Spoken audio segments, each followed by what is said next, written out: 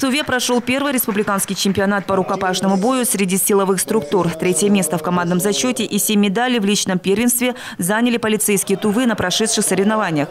За кубки и медали боролись сильнейшие спортсмены-полицейские, судебные приставы, службы ГОЧС правительства Тувы, Росгвардии, а также представители общества «Динамо».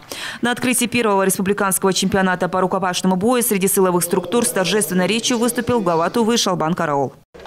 Еще раз, то, чем вы занимаетесь, это особый вид спорта, и более отечественный вид спорта. Мы с вами знаем, самбо, рукопашный бой – это то, что родилось на наших российских просторах. Зал спорткомплекса был полностью заполнен болельщиками, которые аплодисментами и овациями встречали участников и бурно поддерживали их во время выступлений. Все бойцы были настроены на победу и продемонстрировали зрителям зрелищные нокауты и нокдауны. Напряженное соперничество длилось на протяжении всего соревнования.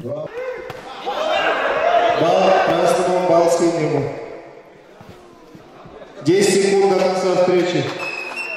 В завершении турнира победителей и призеров наградили кубками, медалями и грамотами. По результатам боев первое общекомандное место получили сотрудники Управления Федеральной службы судебных приставов. Второе место завоевала сборная службы ГОЧС правительства республики.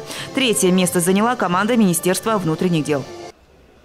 Третье место занимает команда МВД по республике Тыва.